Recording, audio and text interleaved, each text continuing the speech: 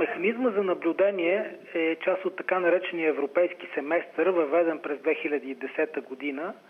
С него се определя обхвата и координацията на економическите политики на държавите членки и се въвежда мониторинг на рисковите за Съюза области, които съответните държави членки следва да адресират с национални политики, за да не се окаже така, че развитието на някои от дисбалансите да постави под изпитание функционирането на цялостния економически и валутен съюз.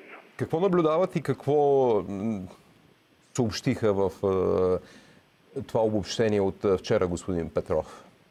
Като цяло и след това отиваме в България. Те прилагат едни стандартни економически индикатори за всяка от всичките 27 държави, с изключение на Гърция.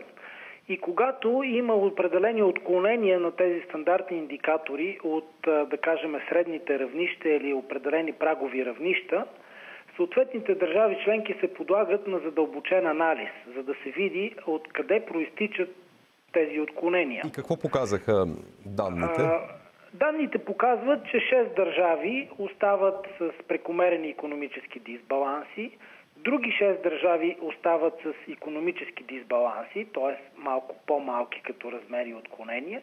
И една държава излиза от този механизъм, това е Финландия. Добре. Държавите, Дис... които са да. с, така, с повишени дисбаланси, това са държави членки като България, Франция, Харватска, Италия, Португалия и Кипър. В общи линии, с изключение на Франция, това са трите така по-високо рискови държави от членките на еврозоната Италия, Португалия и Кипър. Сега, много е важно това, което казва Еврокомисията за България, защото сякаш по, след голямата афера КТБ и източването, 4 милиарда струваше това на българските дънкоплатци, бяха поръчани и направени стрес тестовете и, както се казва, те минаха, забравете историята. Но Еврокомисията казва, не, не е така. Имате проблем. Проблем имате, имате с банковия, финансовия надзор, имате проблем с незавършената съдебна реформа. Какво точно казват по отношение на БНБ и изобщо надзора? По отношение на финансовия сектор, комисията все пак посочва, че е на лице напредък по отношение на стабилизацията на сектора, Повишени са капиталовите показатели, покритието на риска и ликвидността. Но остават някои проблемни области, които са свързани по-скоро с изпълнението на препоръките след прегледа на активите на банките и най-вече така препоръките към конкретно две кредитни институции, които трябва да попълнят капиталовия си дефицит, който беше а, така отчетен.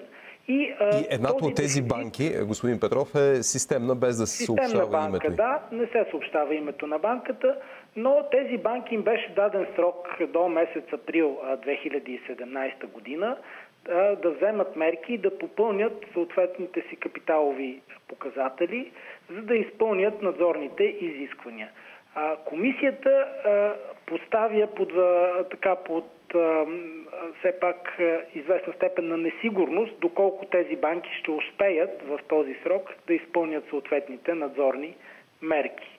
И има препоръки и, към надзора. Подчертава, защо... Да, подчертава, че тези институции трябва да продължат да останат под така едно особено надзорно внимание и да адресират определени проблемни точки в своя бизнес модел, свързани с оценките на определени придобити активи и лоши бизнес практики, свързани с финансирането на свързани лица. Толкова познатата тема. Обаче има и камъни в, това исках да, да чуя от доклада, има и камъни в градината на надзора на БНБ изобщо за начина по който е бил организиран целият, протест, целият процес на стрес теста.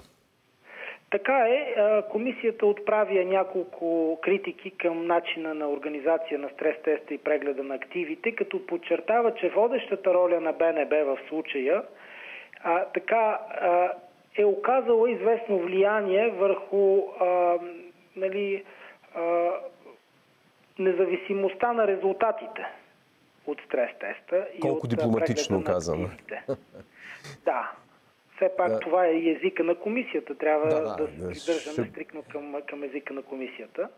Така. Но в известна степен се поставят под съмнение, да кажем, някои аспекти на резултатите и а, другата критика по отношение на банковия надзор е, че резултатите от стрес теста не са достатъчно детайлни и не отговарят на така общата европейска практика, която беше въведена от Европейския банков орган и от Европейската централна банка, когато те съответно публикуваха общо европейските резултати от системните банки в еврозоната.